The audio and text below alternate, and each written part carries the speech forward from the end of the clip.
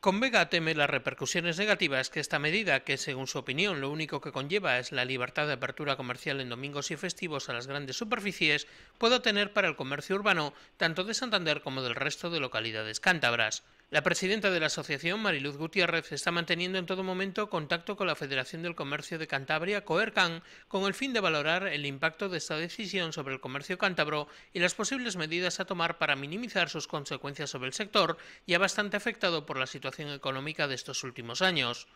Tanto Convega como Coercan consideran vital mantener el diálogo con el Ayuntamiento de Santander con respecto a la decisión que éste debe tomar en el plazo de seis meses sobre las zonas a las que afectará la medida y la temporalidad de esta, de forma que se tengan en cuenta las necesidades del sector tanto en Santander como del resto de Cantabria.